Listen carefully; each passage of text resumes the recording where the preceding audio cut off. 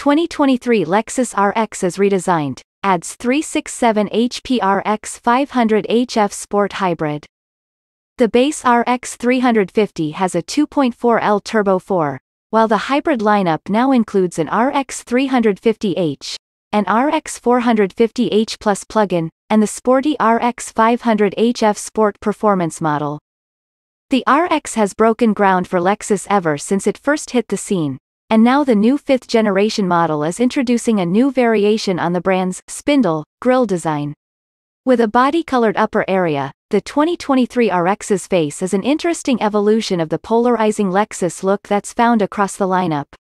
No matter what you think of the new design, the new RX is poised to increase its coverage of the luxury SUV spectrum with new powertrains including a plug-in hybrid model and a 367 HP RX 500h F Sport Performance hybrid variant that features a new all-wheel drive setup Lexus calls Direct 4. Rumors suggest that Lexus will introduce a new three-row crossover called the TX in the near future, so we don't think that the previous RX's L model will return this time around.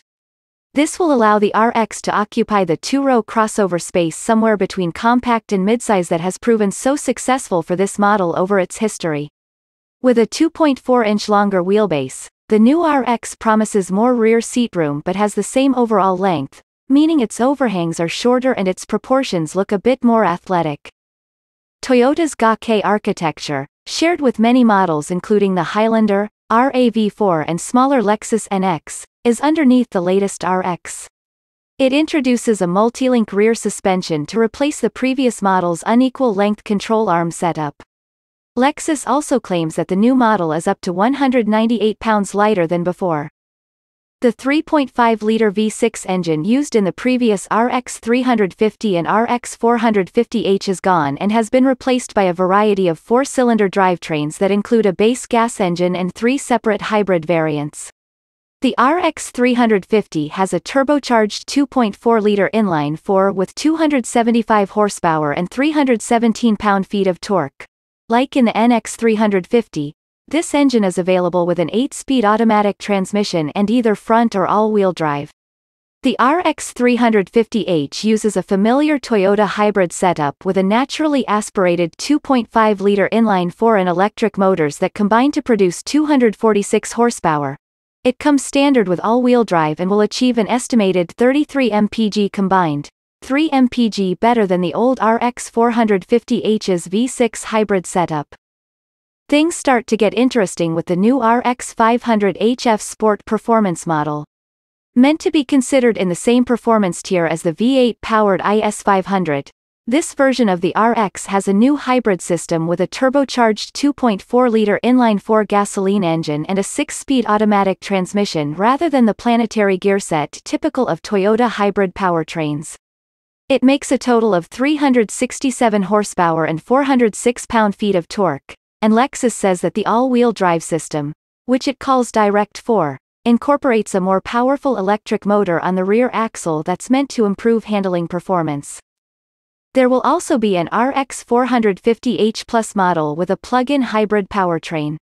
Lexus isn't providing specifics, but we'd guess it'll have a similar setup as the 302 HP NX 450h Plus and Toyota RAV4 Prime PHEVs. The plug-in NX provides an EPA estimated electric driving range of 37 miles, so the RX PHEV should fall somewhere close to that.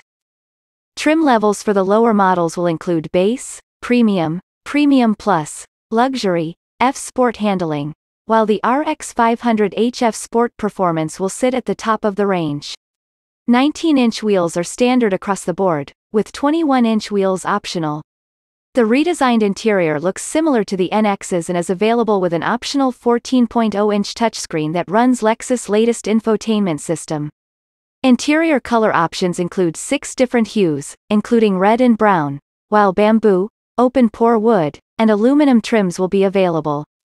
We think the 2023 RX's base price will rise somewhat compared with the outgoing RX 350's $46,995 starting cost.